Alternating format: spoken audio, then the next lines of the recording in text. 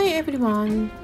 I'm going to um, paint the seeds from now on. Before that, I have to fix the um, strawberry on top part of the strawberry. And I had to make a shadow part, so I just put uh, another paint on it and be darker color. And I'm going to paint the seeds, start the seeds. The plus size is a one um, of two, something like this, one or two.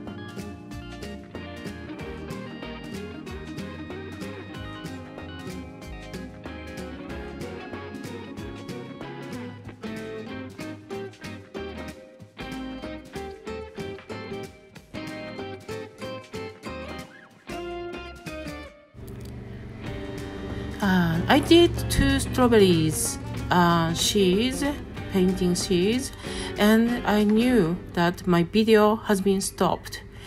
So um, I have to. I can't fix about that. I can't um, redo this because I already did done. So uh, what I do is just I will show this darker part how to do the sheets.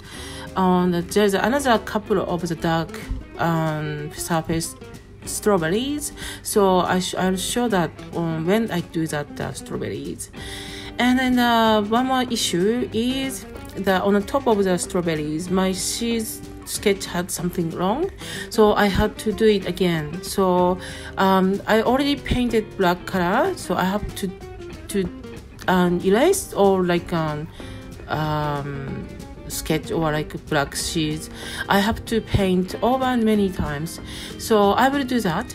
So it will take a while but um, um, i will show next. Thank you.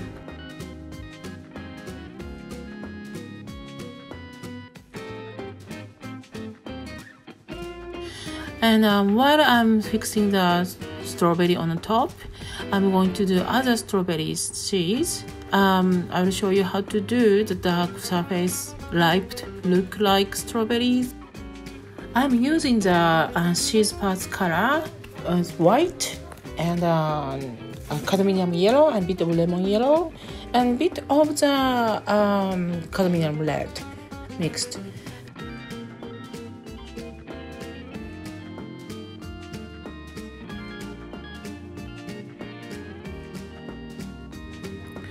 I forgot to tell you this. Um, you can use also ultramarine blue instead of the Payne's gray. It makes more like um, um, uh, not blacky parts, dark parts, or more like a bit purple black. So it looks very beautiful. Um, I recommend you to use some of the parts in this painting uh, using the ultramarine blue mixed with cadmium red and, or alizarin crimson red.